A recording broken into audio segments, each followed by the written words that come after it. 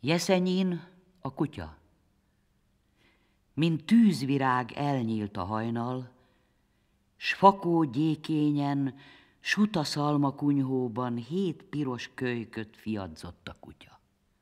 Nyelvével fésülgette őket, ki nem ment volna percre sem. Ott mókázott, s meleg hasából habos tej csurrant édesen.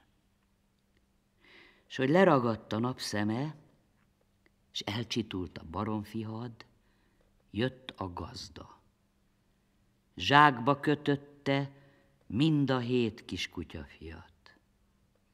Nyomába loholt a kutya, elmaradoztak a hegyek.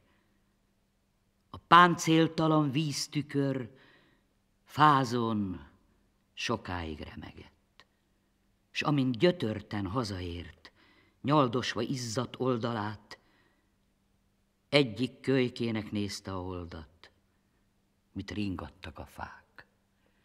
A szikrázó űrbe merett, szimmantott és nyít és nyögött, de a vékony hold is lecsúszott, eltűnt egy kék halom mögött. S mint akinek kenyér helyett, kötődő kéz követ hajít, hullatni kezdte lassan a hóba, szeme aranycsillagait.